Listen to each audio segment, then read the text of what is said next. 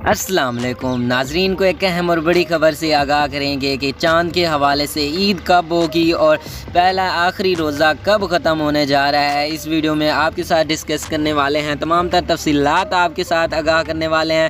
ईद दो अप्रैल को होगी या तीन अप्रैल को होगी, इसके हवाले से भी बात करेंगे। लेकिन उससे पहले छोटी सी रिक्वेस्ट, वीडियो को लाइक कर दें, चैनल को सब्सक्राइब कर दें। अगर इस तरह की वीडियोज़ की नोटिफिकेशन हासिल करना चाहते हैं तो मैं आपको बताया चलूँ कि ईद के हवाले से बड़ा फैसला कर दिया गया है।